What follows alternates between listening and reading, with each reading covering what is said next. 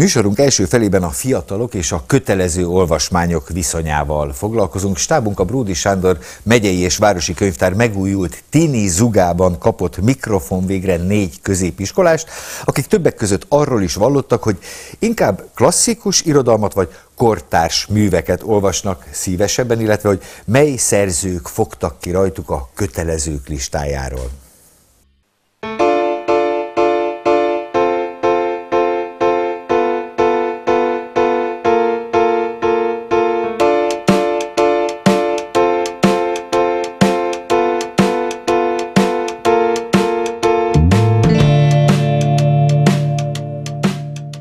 Az egy-egy kötelező olvasmányok valamikor jó időben vannak feladva nekünk, és valamikor nem.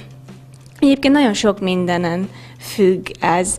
Például régebben az emberek teljesen máshogy gondolkoztak, mint például manapság, vagy ha a nyelvezetet nézzük, akkor nem biztos, hogy ezt a régies nyelvezetet olyan könnyen megértik a mai fiatalok, mint ahogyan az annó meg lett írva. Szerintem a legtöbb kötelező olvasmány nem jó időben találja meg a gyerekeket, mind témájában, mind formájában elüt attól az életszakasztal, amiben épp aktuálisan vannak. Épp ezért szerintem abszolút egyik sincs eltalálva. Abban én is egyet tudok érteni, hogy nem jó időben vannak feladva egyes olvasmányok, viszont van egy pár ifjúsági regény, vagy esetleg könyv, amik, amiket nagyon élveztem, például a a két Lotti, a Pál utcai fiúkat is nagyon élveztem, viszont emlékszem egy pár, pár könyvre, amivel úgy nagyon megszenvedtem, úgy nyelvezet és gondolkodás terén is. Maga a kötelező szó elég visszataszító lehet, hogyha az általános iskolások, vagy akár a középiskolások is meghallják így. Um, szerintem tényleg nem jó időben van néhány kötelező olvasmány, és uh, fontos lenne, hogy olyan könyveket, olyan olvasmányokat kapjanak a fiatalok, amiről elmondhatják, hogy igenis megérte azokat az órákat, amiket rászántak. Én nem a falakban bízom, hanem az emberekben. Ilyen nincs a töröknek.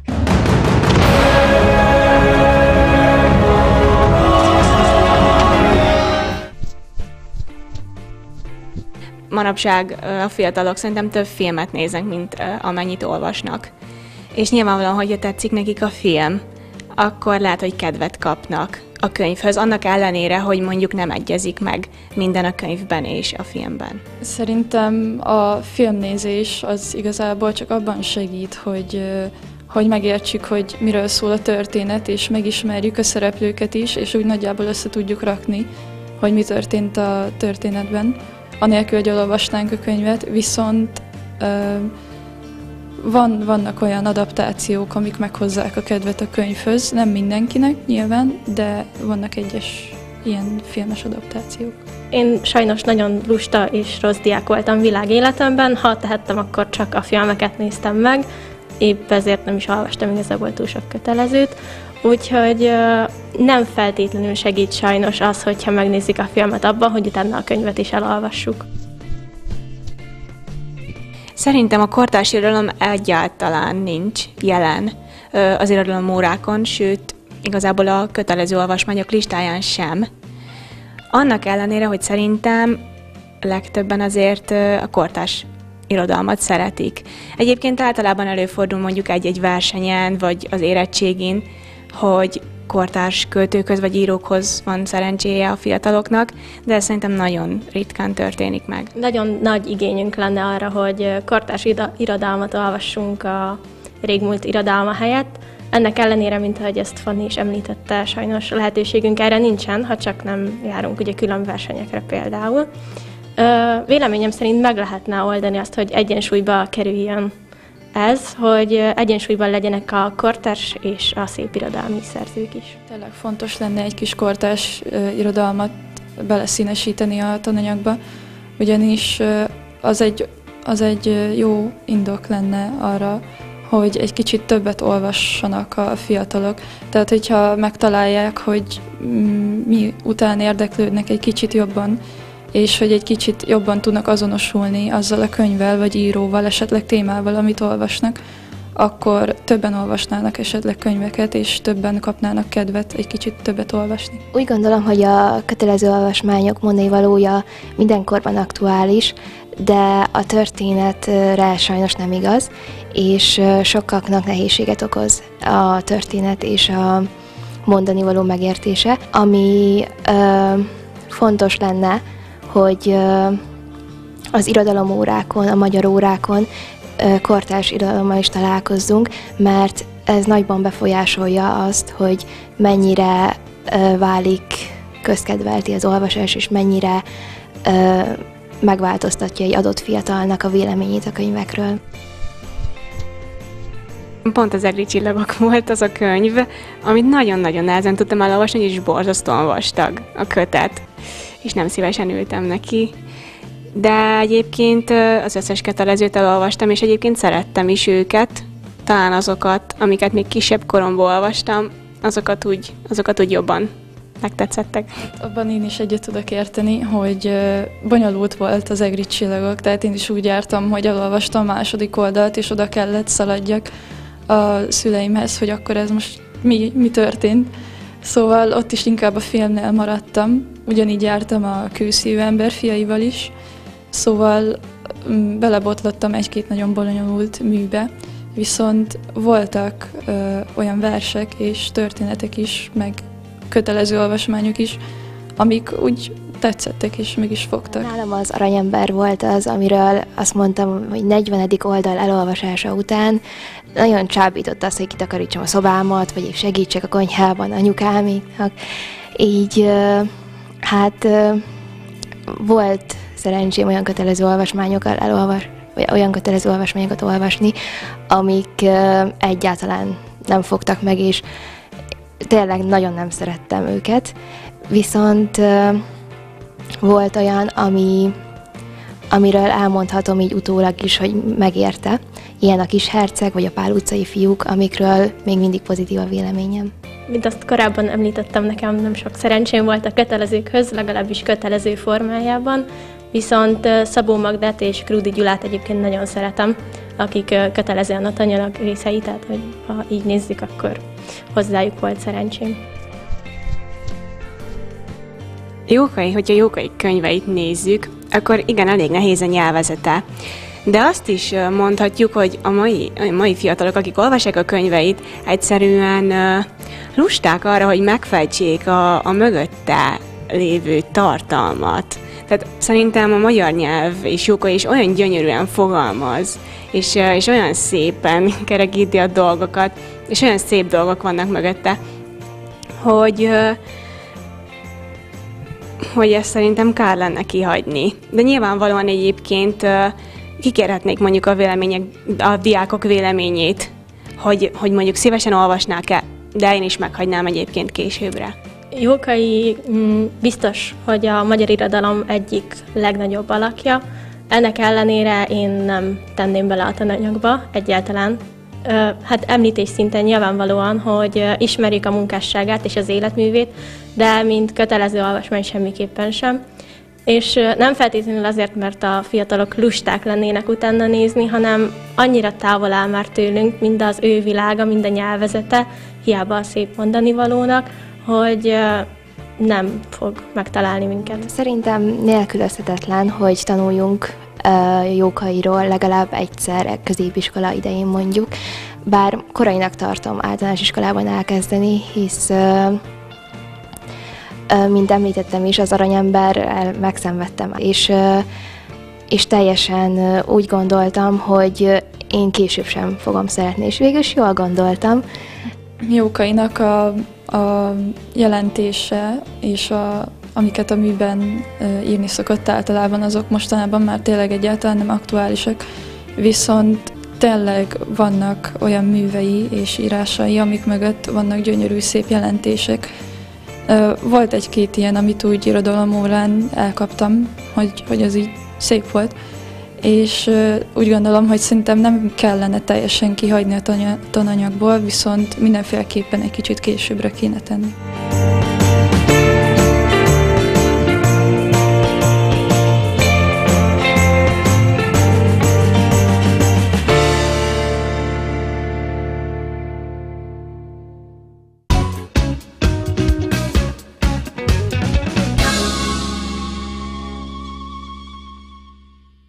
A folytatásban is maradunk a fiatalok és a kötelező olvasmányok különleges kapcsolatánál.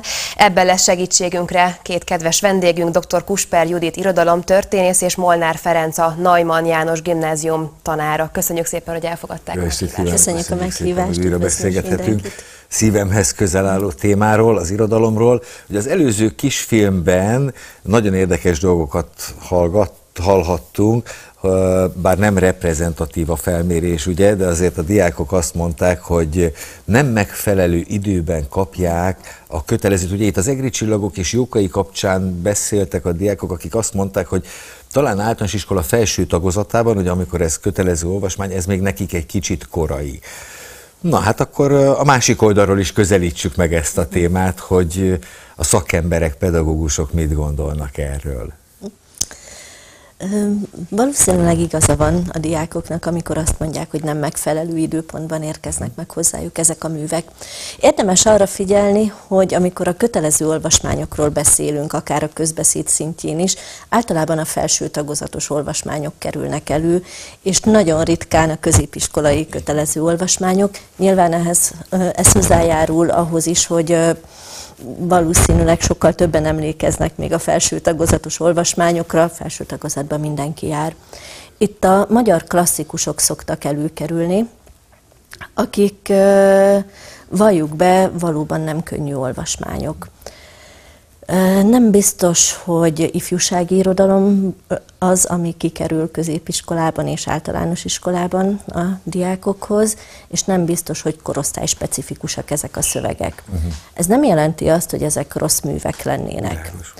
Azt is hozzá kell tennünk ugyanakkor, hogy kötelező olvasmány alatt többnyire a házi olvasmányokat értjük, holott nem ez a négy regény szerepel, Így van. például a felső tagozatos repertoárban sem, viszont ugye ezek a legmarkánsabban jelenlévők, láthattuk, hogy talán a legfélelmetesebb szövegek, és igen, nehéz hozzájuk eljutni.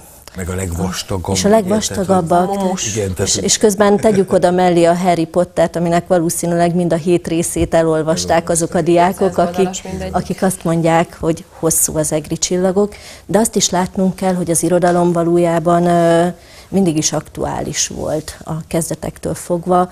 Látjuk azt is, hogy a 19. századig alapvetően a szóbeliség volt az elsődleges terepe, tehát nem engedhette meg magának azt, hogy arhaikus, régies nyelven szólaljon meg, és ez is hozzájárul ahhoz, hogy közvetlenül könnyen befogadható, azaz még egy, még egy vándortéma, még egy ókori toposz, még egy antik történet is jelenvalóként tud megszólalni. Akkor, amikor a nyelve felfrissül. Látjuk ezt például napjainkban is a fordítások kapcsán, mennyire sokat hozzátesz egy új fordítás egy műhöz. Többször elhangzott a bejátszóban a fiataloktól, hogy hiányolják a, a kortárs irodalmat. Most ezt a kötelező olvasmányokra értették szerintem, de az irodalomórákon mennyire van jelen, illetve az arányokon változtatna esetleg, hogy a kötelezőséget félretéve? Én radikálisan változtatnék az arányokon.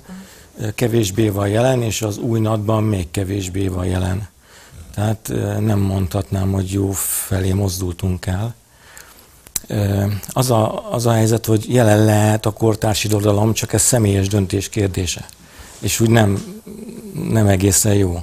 Tehát, hogyha a konkrét tanára múlik, hogy ő, ő, ő mennyire olvas, nem olvas, bevisz, nem, nem viszi, plusz munkát fektet bele, vagy nem fektet bele, még a, a heti mondjuk 25 óráján túl, meg a, meg a elképesztő adminisztrációs munkán kívül, akkor, akkor az, az nem olyan, mint hogyha rendszer szinten lenne benne. Uh-huh. Bele lehet csempészni, tehát eh, nem tudom én, Zrínyi-től kezdve, vagy Homérosztól kezdve, eh, Arany Jánosig, eh, és sorolhatnám eh, Tóth Krisztinát, meg Orbán Ottót, akik, meg, meg egy csomó mindent, Eszterázi Pétert, akik reflektálnak a hagyományra folyamatosan, és úgy építik fel a saját művüket. És mégis mondjuk egy, egy Tóth Krisztina könnyebben szól a, a mai diákhoz, és ő rajta keresztül lehet, hogy könnyebben el lehet jutni a 100-150-200 évvel ezelőtti ö, szerzőköz.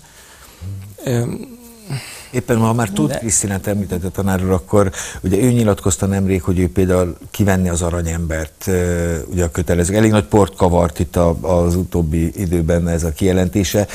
Erről mi a véleményük mm, erről a gondolatról? Valóban ki kéne venni a kötelező olvasmányok közül? Eleve ez egy nagyon félreértelmezett uh-huh. kijelentés Igen. volt, és egy rossz irányba elindult párbeszéd. Uh-huh. Valójában nem uh-huh. is párbeszéd uh-huh. volt tulajdonképpen.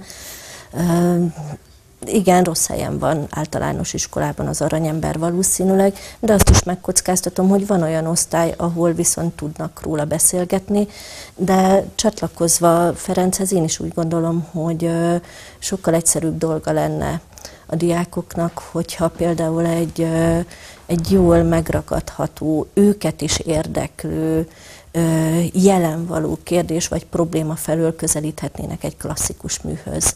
És ezeket a, ezeket a szövegeket, vagy ezeket a problémákat egy kortárs szövegen keresztül is föl tudjuk kínálni a diákoknak. Tehát alapvetően azt hiszem, nem tudom mennyire értesz ezzel egyet, hogy a, a kronológikus rendel is nagy gond van Igen. azzal, hogy ö, időrendben tanítjuk a műveket, tehát irodalom történetet tanítunk a kezdetektől Igen. napjainkig. Szintjeiknek És, megfelelően. és hát napjainkig általában el sem jutunk, mert mindig csúszás van, és a, a klasszikusokhoz, a, a régiekhez nagyon nehéz hozzányúlni, anélkül, hogy tudnánk azt, hogy hogyan működik napjainkban az irodalom. Világos. Ugye, meg- Igen, és Igen, bocsánat, igen.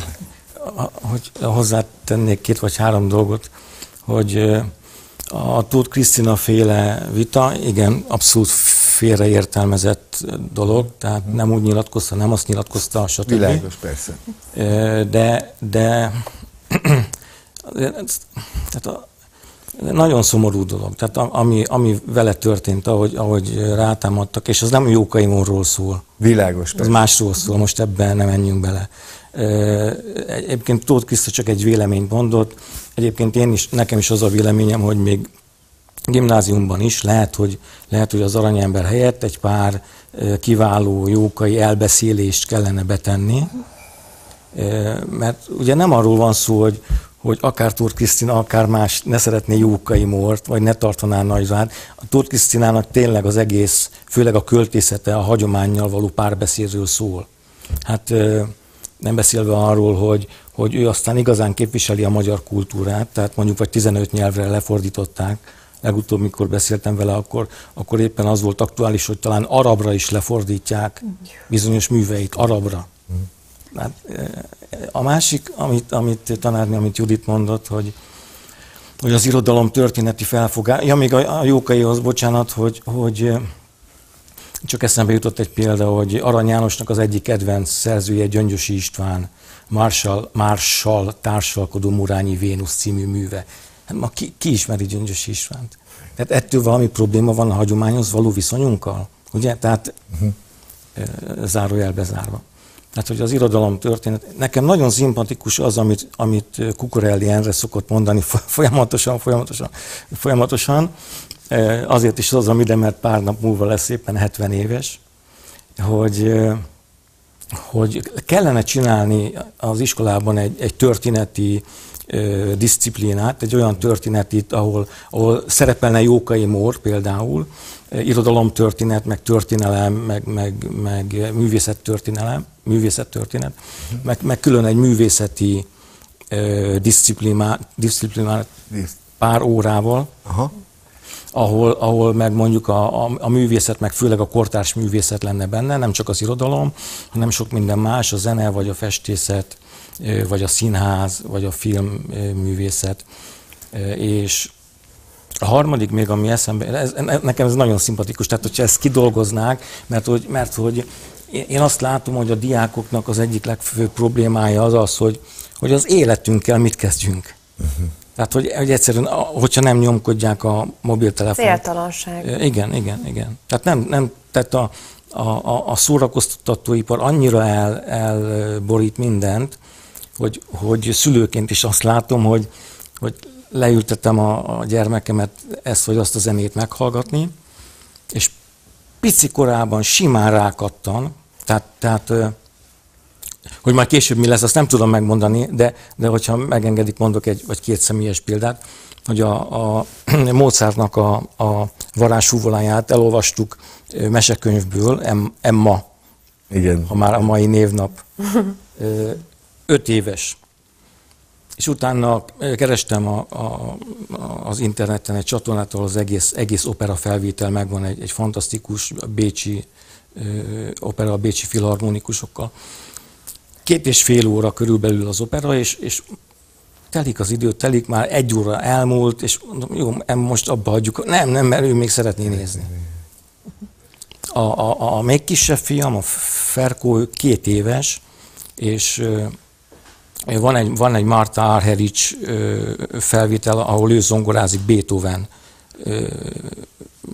művet, Sergio a vezényel, és hogy mi fogta meg benne, hogy a nagy őszhajuk fogta meg, hogy azt az, az szerette, hogy ott ül az ölembe, de legalább tízszer megnézte, hallgatta egymás után, két éves, úgyhogy 22 perces a mű, és, és meg sem mozdult közben. Elképesztő. Egyébként, amit tanárról említett, ugye, hogy hát változik körülöttünk a világ, ugye gyorsul, a mai fiatalok ebben a kütyümániában vannak. Egy nagyon gyors adalékot hadd mondjak, mi két évvel ezelőtt a színházban 130 diákkal csináltuk a Róma és Júliát, és a halál közeli élményükre szerettünk volna, ugye itt a végén ugye meghalnak a főszereplők, hogy mégis ők hogy dolgozzák ezt. És volt olyan diák, aki azt mondta arra a kérdésre, hogy mi lenne a legrosszabb, ami most veled történhetne, az volt a válasz, hogy ha törölnek a közösségi médiából. Mm, igen. Tehát, hogy, hogy ennyire, és mindegy, ez nem vélemény mondok, csak történetet mesélek.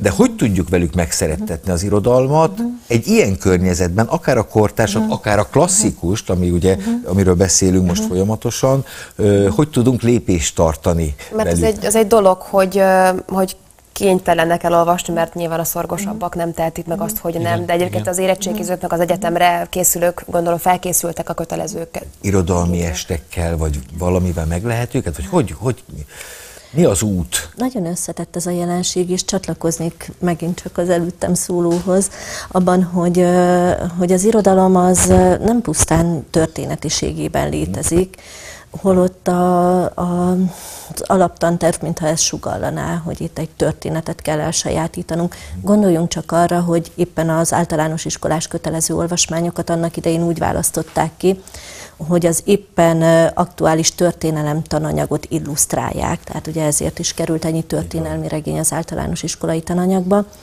ami valljuk be egy kicsit messze van ezeknek a műveknek az esztétikai céljától. Igen. És hogyha megnézzük azt, hogy, hogy az irodalom emellett, de megkockáztatom, sokkal inkább művészetként kellene, hogy jelen legyen az oktatásban, olyan, olyan jelenségként, amit át tudok élni, ami hozzám szól, sőt a másik oldala is nagyon fontos lenne, ahol alkotni tudok. Tehát a kreatív írás feladatok például szintén rendkívül fontosak lennének, vagy a kreatív feldolgozása egy-egy műnek, a drámajátékok akár, és így tovább, előadások. Nyilván nem szabad elfelejtenünk azt sem, hogy, hogy az irodalom multidisciplináris jelenség jelen van a, a zenével, a, a színházzal összekötve. A nyelv nem csak önmagában létezik, de már az is mennyire sok mindent hozzá tud tenni, hogyha, hogyha művész ilyen előadunk egy művet, és így tovább, és így tovább.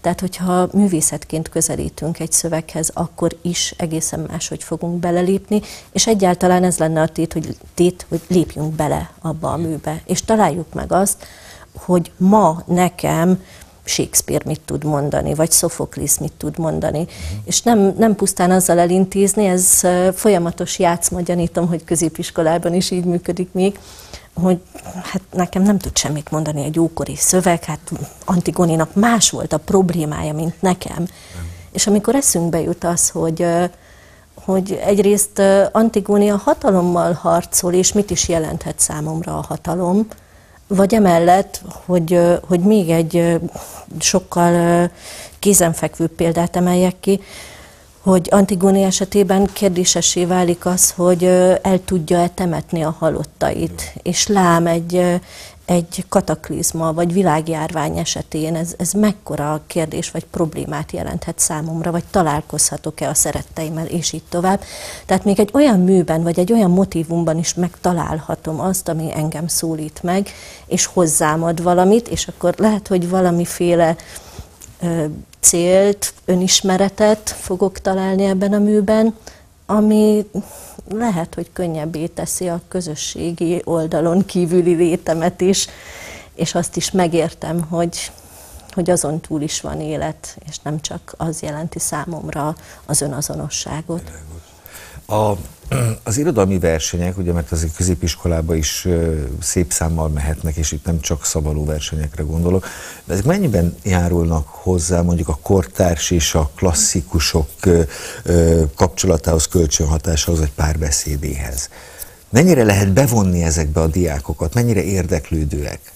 Hát be lehet vonni, nehéz bevonni a diákokat, de, de be lehet vonni, de és, és tényleg vannak olyan versenyek, az Arany János irodalmi verseny, ahol vannak kortársak is, meg klasszikus művek is, tehát mondjuk egy jókai elbeszélés, vagy mondjuk egy, egy a fiatalok számára is olvasható, nem tudom én, Eszterházi uh-huh. mű, és, és ott, ott mondjuk a kis csoportos közös munka, az, az, az, az, az sokat számít. Uh-huh. Ez, ez egy órán sokkal nehezebb, és, és sokkal könnyebben el lehet jutni meg, meg, meg több időt lehet szánni rá. Uh-huh. Tehát, tehát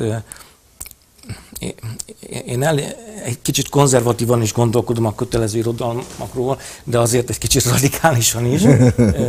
Tehát, hogy, hogy mondjuk egy, egy jelentős részét azért kiraknám a tananyagból. Uh-huh. Gondoljuk el, hogyha meg tudnánk azt csinálni, hogy mondjuk Ottli Géza iskola a határon, és mondjuk egy hónapig azzal foglalkoznánk. Uh-huh. Hogy, hogy Pistike meg Jancsik, vagy nem tudom, ilyen 11, 12. C osztály, most a következő órára olvashatok el 50 oldalt, azt megbeszéljük, majd közösen olvasunk, a következő órára megint majd olvastok, megint megbeszéljük, mert egyébként elvesztek. Tehát ez, ez a, ugye nekik Jókaival, Gárdonyival az a problémájuk, hogy lassú. Uh-huh. Lassú, unalmas. unalmas.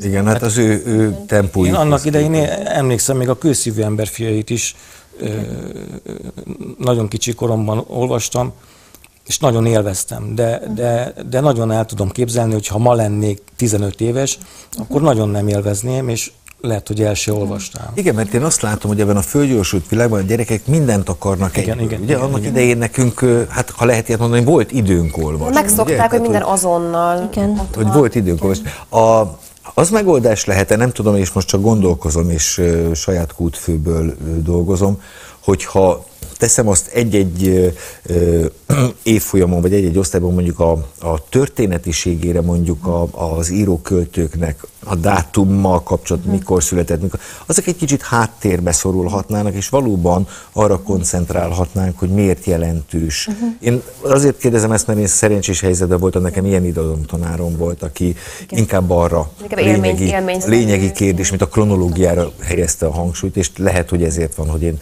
szeretek olvasni. Igen, még, még az előzőhöz is visszakapcsolva uh-huh. egy mhm. kicsit a versenyekhez, hadd említsem meg, hogy bő egy hete volt éppen az Eszterházi irodalmi versenyünk országos döntője, ahol az idén 15 novellát adtunk ki kötelező olvasmányként, ez is egy félelmetes kifejezés.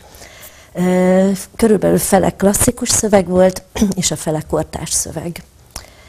Nagyon nagy élmény volt nekünk is ez a munka, de úgy láttam, hogy a résztvevő középiskolásoknak is, hiszen Tóth Krisztinát, Szabóti Annát, Lackfi Jánost olvastak, Méghozzá választottunk néhány olyan szöveget is, amelyek párbeszédet folytatnak klasszikus szövegekkel. Ilyen volt például Tóth Krisztinától a Tímás Zsófi Muskátlia, ami ugye a Mixát Tímás Zsófi özvegysége novelláját olvassa újra, vagy írja újra. És ez is egy, egy olyan kapcsolódási pont, ami megmutatja azt, hogy na hát Mixát is olyan problémáról ír, amiről Tóth Krisztina ír, és ez talán még engem is érdekelhet. Itt a férfinő kapcsolatok kifejezetten izgalmasak ezekben a szövegekben, nagyon sok ilyen művet olvastattunk a kamaszokkal, és megtalálták ezekben önmagukat. igaz, a 19. század végéig mentünk vissza hát korábbi szövegek nem voltak, amikről a hallgatóink is azt nyilatkozzák még, hogy ezek olvasható szövegek, és nem jelentenek olyan nagy nyelvi nehézséget, de, de azzal bizony egyet kell érteni, és be kell látnunk, hogy, hogy, hogy a nyelv változik. Ezt az emlékezett kultúra úgy fogalmazza meg, hogy van egy sodródó hasadék. Ez a sodródó hasadék ki tudja most hol jár, valahol a 19. század vége felé. A, az addig hátra tekintve keletkezett műveket még viszonylag probléma nélkül el tudom olvasni, viszont a hasadik túloldalán lévő művekhez már filológiai munka kell, ami nem rossz, nagyon-nagyon élvezetes, még a diákok is szokták élvezni, hogyha nyomozni kell, igen, igen. meg kell érteni az egyes szavakat, de más jellegű befogadást igényel. És talán ez, ez a tétje ennek a történetiségnek, hogy, hogy egy kicsit máshogy kell olvasnom a régi szövegeket, mint az új szövegeket, viszont ha, ha ezt a két horizontot össze tudom hozni, akkor nagy élményt tud jelenteni ugyanúgy. Mhm, de jó. Kicsit még beszélgessünk a irodalmi estek körül. Igen, az előbb próbáltuk említeni, hogy, hogy ezeknek a jelentőség. Igen, igen, ez mennyiben serkenti a fiatalokat, illetve milyen jellegű irodalmi est esetleg, hogyha zene is megszólal, akkor, akkor jobban felkapják a fejüket? Lehet, hogy igen, de ez, e, e, erre nem nagyon volt, egyszer vagy kétszer volt rá uh-huh. példa. Bár otthon gondolkodtam rajta, csak, csak uh, uh, lett is volna jelentkező, aki ajánlotta, csak, csak mondjuk ott, ott az egy kicsit kicsi a tér. De, de hát remélem, remélem, tehát mindig, mindig nagyon sok diák van, meg vannak, akik, akik folyamatosan visszajönnek egyetemektől is, uh-huh. és különösen akkor örülök, amikor és ez nagyon jellemző, nem, nem feltétlenül bölcsészkarról jönnek vissza, vagy nem csak onnan, hanem műegyetemről, vagy közgazdasági egyetemről is. De nagyon érdekes, hogy ez is nagyon, nagyon szubjektív tud lenni, tehát van, amikor, van, amikor, tehát hogyha tetszik nekik az író, vagy szimpatikus, akkor az, az jó, de van, amikor az, volt, hogy valakinek az nem tetszett, hogy milyen ruhában van. és, és ezért, ezért nem, volt, nem volt szimpatikus, és már meghatározó. De, de igen, de, de tulajdonképpen az van, mint, mint egy tanárral, hogyha bemegy az osztályba. Hogyha tetszik neki, akkor a kedvéért elolvasom, hogyha, hogyha nem, nem vagyok szimpatikus, akkor nem. És, és ez, is, ez, ez is nagyon, eh, nagyon nehéz, eh, bármilyen szövegről is van szó, hogy, hogy, hogy hogy úgy foglalkozzam a szöveggel egy órán, mint hogyha ott fedeznék föl valamit. És ez a diákok nagyon hozzá tudnának járulni egyébként, igen, meg hozzá tudnak, amikor elmondják a gondolataikat, és akkor azt, azt, azt nézem, hogy jé, hát én erre nem is gondoltam. De hogy, hogy előtte lelkileg, hogy fel kell rá készülni, hogy, hogy az úgy nem, tehát hogy rutinból nem megy. Nem megy. Az úgy nem megy. És még így is, így is nagyon most is volt rá példa egyébként ebben az online oktatásban, hogy így, így bárkit nagyon könnyű elérni online módon, hogy hívtam egy-két vendéget irodalom órára, legutóbb éppen ezen a héten volt, ezen a héten, múlt héten volt Garaci László, uh-huh. és a Pompásan buszozunk című regényét olvastuk az osztályban, de arról is azért, azért vannak, akik lepattannak. Tehát hiába, hogy kisiskolás uh, körben játszódik, de különböző idősíkokat váltogat, és akkor ezt már nem nagyon értik.